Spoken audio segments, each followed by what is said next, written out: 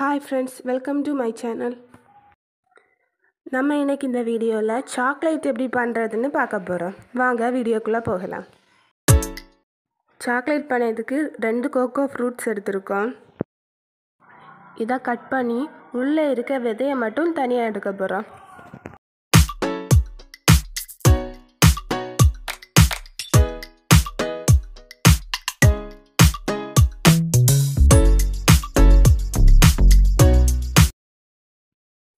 இது கட் பண்ண கொஞ்சம் கஷ்டமாக இருக்கும். ஏன்னா இதோட தோல் ரொம்ப கட்டியாக இருக்கும்.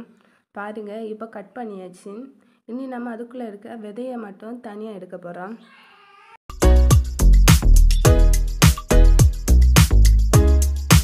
விதையை நல்லா க்ளீன் பண்ணி காய வச்சு எடுக்க போகிறோம்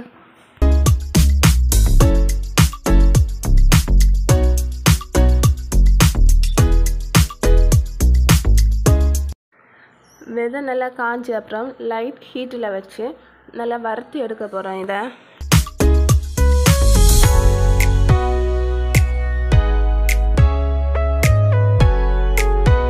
கோகோ காயை நல்லா வறுத்தாச்சு.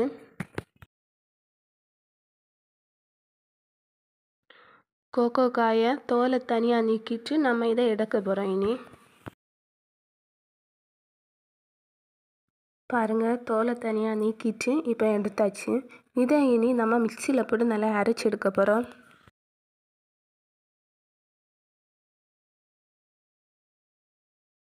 இந்த கோகோ காயை நம்ம எவ்வளவுக்கு அரைக்கிறோமோ அதை பொறுத்து அது நல்லா லிக்யூட் ஆகிட்டே இருக்கும்.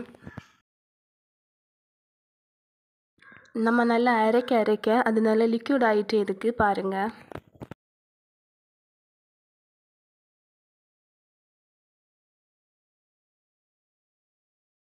இப்போ கோகோ காய் நல்லா அரைஞ்சி நல்லா லிக்யூட் மாதிரி வந்தாச்சு.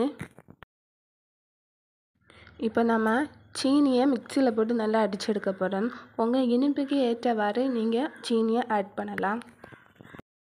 நான் நாலு டேபிள் ஸ்பூன் சீனி ஆட் பண்ண போகிறேன்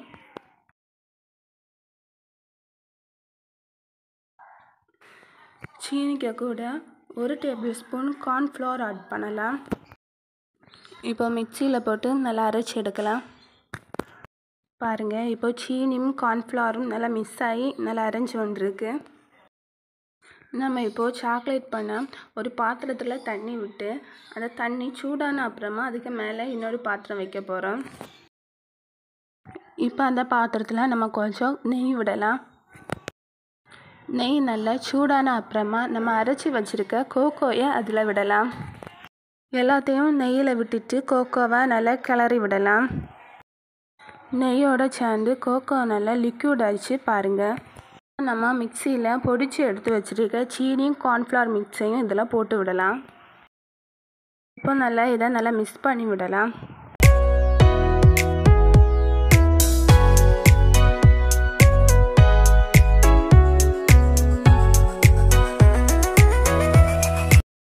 இதுக்கு கூட கொஞ்சம் நெய்யை ஆட் பண்ணி நல்லா மிக்ஸ் பண்ணி விட்டுக்கோங்க. இப்போ நம்ம சாக்லேட் ரெடி ஆயாச்சு.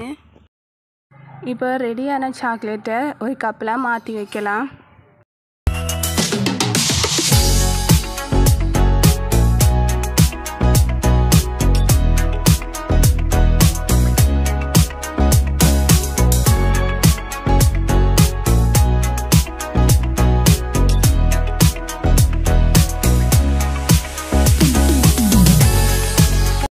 இதை இனி நாம் ரெண்டு மணிக்கூர் ஃப்ரிட்ஜில் வச்சுட்டு எடுக்கலாம். இப்போ ரெண்டு மணிக்கூர் தாண்டியாச்சு. நம்ம இனி சாக்லேட்டை ஃப்ரிட்ஜில் இருந்து எடுக்கலாம். சாக்லேட்டை கப்பில் இருந்து தனியாக எடுக்கலாம் இனி.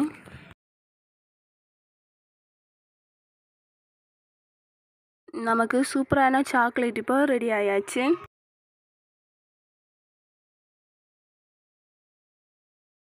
இந்த வீடியோ உங்களுக்கு பிடிச்சிருந்துன்னா லைக் பண்ணுங்கள் ஷேர் பண்ணுங்கள் மறக்காமல் சப்ஸ்கிரைப் பண்ணுங்கள் இனி அடுத்த வீடியோவில் சந்திக்கலாம். அது வரைக்கும் பை பாய்